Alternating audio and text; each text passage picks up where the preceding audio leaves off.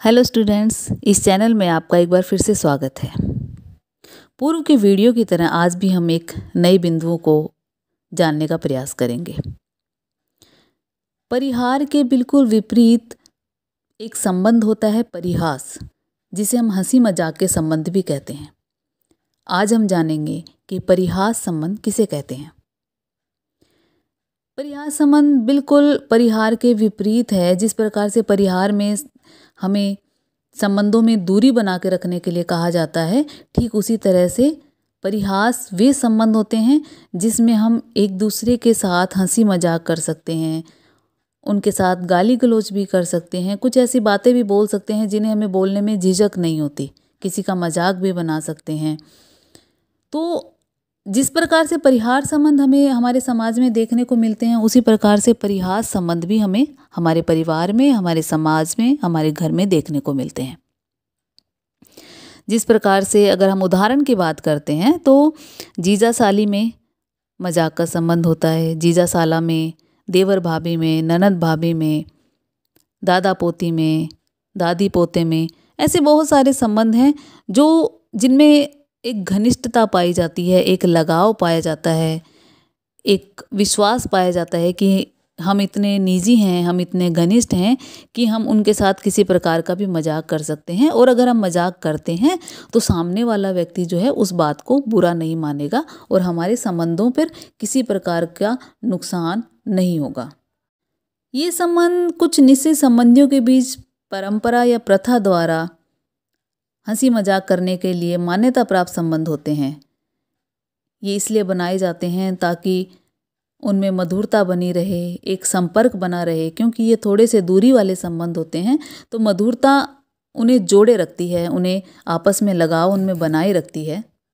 परिहार में जिस प्रकार कुछ संबंध, कुछ बातें निषेध होती हैं, इस तरह से इसके परिहास के अंदर स्वतंत्रता होती है और बहुत अधिक स्वतंत्रता होती है कि व्यक्ति अपनी मन की बात कह सकता है। जब चाहे किसी भी रूप में उसे सामने वाले व्यक्ति के सामने पेश कर सकता है, कह सकता है, मनोभावों को वो प्रकट कर सकता है। कई बार ऐसा भी देखने में आता है कि ये जो संबंधी हैं, आपस में एक दूसरे का मज़ाक उड़ा देते हैं, उन्हें नीचा दिखाने का प्रयास करते हैं, लेकिन वो नीचा दिखाना या वो मज़ाक करना एक ईर्ष्या नहीं है, एक जलन नहीं है। एक दिल और दिमाग में बैठी हुई बात नहीं है।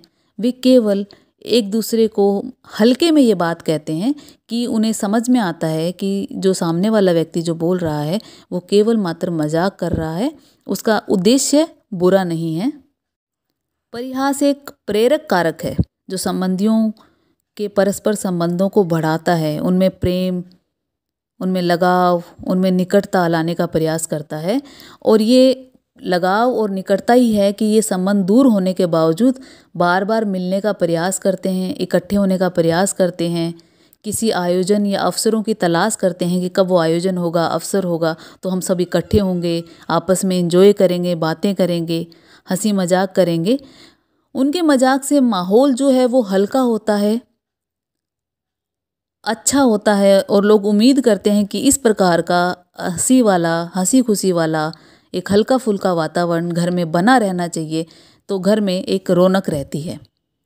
और अधिकांशतः इस प्रकार के जो संबंधी जो होते हैं, वो किसी उत्सव या त्यौहार में ही मिलते हैं, और जब मिलते हैं तो खूब मिलकर अपने बातों को, अपने विचारों को एक दूसरे के सामने पेश करते हैं, क्योंकि उन्हें छूट होती है किसी भी तरह के व्यवहार करने की, किसी भी तरह की बात करने की, अपने मन की बात को कहने की, उनका मज़ाक बनाने की। ऐसी बहुत सारी चीज़ें हैं जो इस प्रकार के संबंधों में पाई जाती है। जब इस प्रकार के संबंध होते हैं, इस प्रकार का व्यवहार होता है तो परिवार में तनाव नहीं रहता, किसी प्रकार का वैमनस्य नहीं रहता, वो धीरे धीरे तनाव का माहौल ख़त्म हो जाता है, मनोरंजन बनता है, नज़दीकियाँ बनती हैं, जो समाज में जीवित रहने के लिए आवश्यक है। जब तक समाज में हँसी खुशी का वातावरण होगा, प्रेम होगा, लगाव होगा तब तक मनुष्य का जीवन सरल और सही होगा। क्योंकि जहाँ तनाव और संघर्ष होता है, वहाँ जीवन कठिन होता जाता है और मनुष्य का जीवन के प्रति लगाव भी खत्म हो जाता है। तो जीवन में अगर उत्साह बना रहे, लगाव बना रहे, जीने की इच्छा बनी रहे, उसके लिए इस प्रकार के संबंधों का होना बहुत ज़रूरी है। क्योंकि इंसान का मस्तिष्क तभी काम करता है जब वो खुश रहता है, जब वो किसी उम्मीद में रहता है।